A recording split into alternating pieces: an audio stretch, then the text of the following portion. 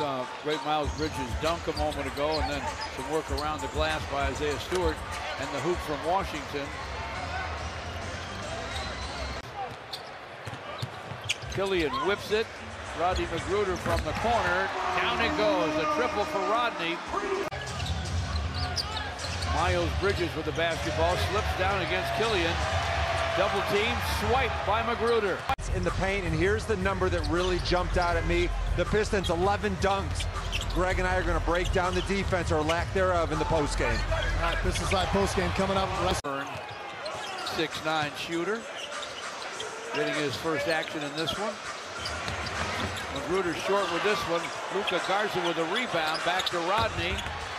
Sends shooter. Getting his first action in this one. McGruder short with this one. Luka Garza with a rebound. Back to Rodney. Sends, but it didn't seem to bother him. Bounced right up. Rodney McGruder short. They left him in for that purpose right there. He needed that one extra rebound. Saben Lee ahead to Rodney McGruder, shovels to Olynyk. Kelly Olynyk lays it up, lays it in. Happy about all of that. LaMelo ball, why not?